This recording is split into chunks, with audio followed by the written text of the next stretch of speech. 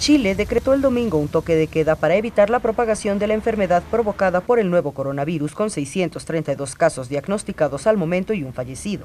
Se implementará el toque de queda desde hoy en todo el país, desde las 22 horas y hasta las 0500 horas. La razón de esta medida es asegurar que entre las 22 horas y las 5 de la mañana se dé cumplimiento cabal al aislamiento social en los lugares de residencia de las personas. El sábado pasado se registraron 95 nuevos casos de COVID-19 hasta las 21 horas tiempo local, lo que totaliza 632 confirmados en todo el país. Eso va a contribuir de muy buena manera a la Estrategia Nacional para Combate del Coronavirus.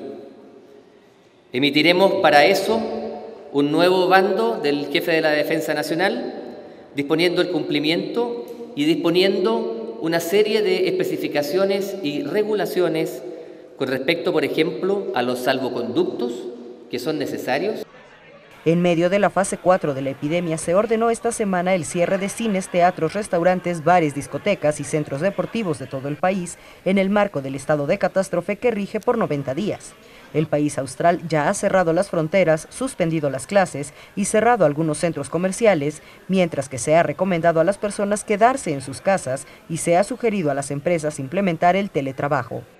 Con información de la oficina en Santiago, Chile, Noticias Xinhua.